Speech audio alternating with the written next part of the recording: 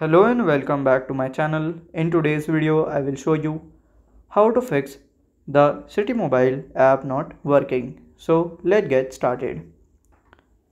So we will do this in two step. Just press and hold it here. Click on this I button. Then you have to go to the storage option. Click on clear data, then delete. Now all you have to do is the app update. Click on the last second option and update from here. So this is how to fix the Citibank app not working. And if you find this video helpful, make sure you like, subscribe and share the video. Thank you for your watching.